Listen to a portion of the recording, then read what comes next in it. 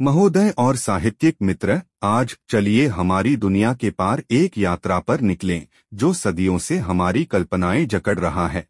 चंद्रमा, जो स्वर्गमंडल में हमारी रात्रि आकाश में एक आकाशीय साथी की भूमिका निभा रहा है। चंद्रमा, हमारे रात्रि आकाश में एक मोहक पृष्ठ, एक आकाशीय अद्वितीयता है। हमारी पृथ्वी के चौथाई हिस्से की तुलना में एक विशाल अंतरिक्ष में नृत्य करने वाले एक सूक्ष्म गोला है।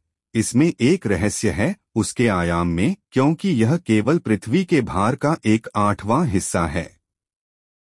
हमारे घरेलू ग्रह की तुलना में, चंद्रमा में हवा और वायुमंडल की कमी है। इसकी सतह एक विविधता का चित्र है, कठिन और ढीली मिट्टी सहित, जिसमें खगोली संघर्षों की कहानियों के साथ सजीव है।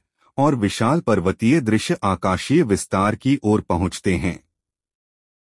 आकाशीय महानाट्य में चंद्रमा पृथ्वी के चारों ओर एक सूक्ष्म नृत्य करता है।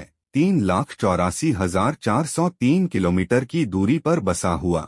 यह एक धैर्यशील सत्ताईस दशमलव तीन दिन में एक पूर्ण चक्कर पूरा करता है। दूरस्थ तारों के पृष्ठ पर मापा जाता है। हम रात के आकाश की ओर देखते हैं। चंद्रमा चुपचाप अपनी यात्रा की योजना बनाता है, एक आकाशीय समयमान है। इसके अलावा, चंद्रमा पंचांग एक लहरदार सुर में खुलता है, दो लगातार नए चंद्रमाओं के बीच का समय एक मोहक उनतीस दशमलव पाँच दिन या सात सौ नौ घंटे, यह आकाशीय चक्र, एक चंद्रमा की धड़कन, हमारी रात्रियों की लहर और हमारे साझा कॉस्मिक अनुभव के पैटर्न को मार्गदर्शित करता है।